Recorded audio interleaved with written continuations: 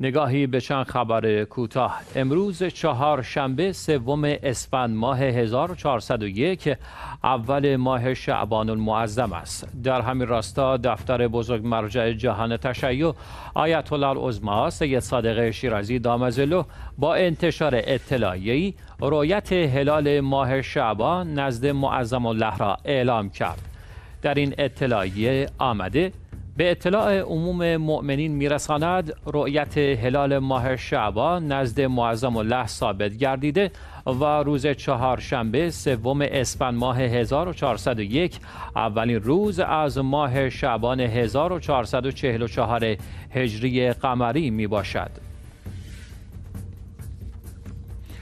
سید ساقب اکبر نقوی فعال شیعی و رئیس مؤسسه البصیره و معاون شورای همبستگی ملی پاکستان.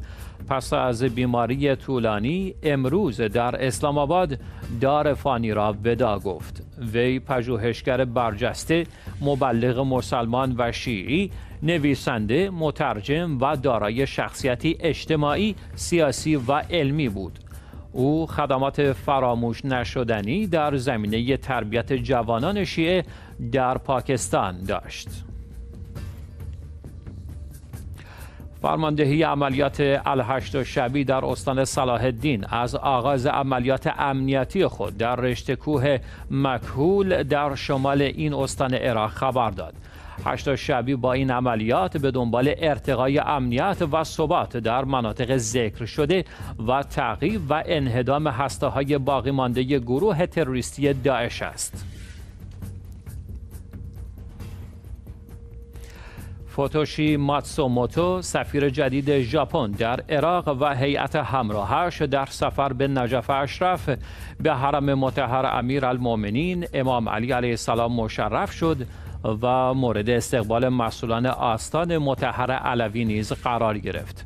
او برای آشنایی با آثار قدیمی تاریخی و اسلامی و نیز اطلاع از معماری غنی اسلامی در آستان متحر علوی و بخش های مختلف حرم حضور یافت و با ابراز شگفتی از این آثار ارزش اعتقادی و معنوی آستان متحر علوی را ستود.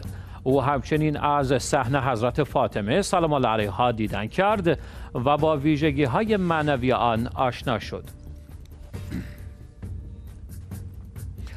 آستان مقدس امام حسین علیه السلام از برگزاری 16 همین دوره جشنواره جهانی ربیع و شهاده به مناسبت اعیاد شعبانیه در شهر مقدس کربلا خبر داد.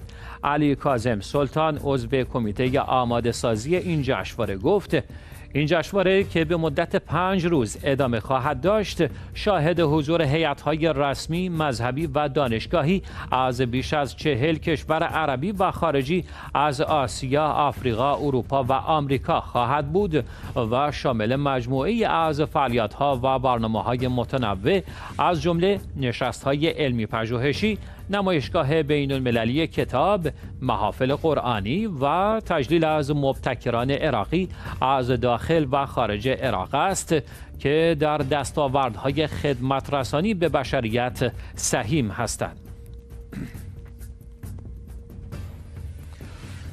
بزرگ مرجع جهان تشیع آیت الله العظما سید صادق شیرازی مدظله العالی در پاسخ به استفتایی در مورد استبداد در حکومتداری این اقدام را جایز ندانستند. ایشان در پاسخ به این پرسش که آیا حاکم حتی اگر فقیه یا منصوب از طرف فقیه باشد حق دارد در حکومتداری مستبد و خودرأی باشد فرمودند استبداد در حکومتداری جایز نیست.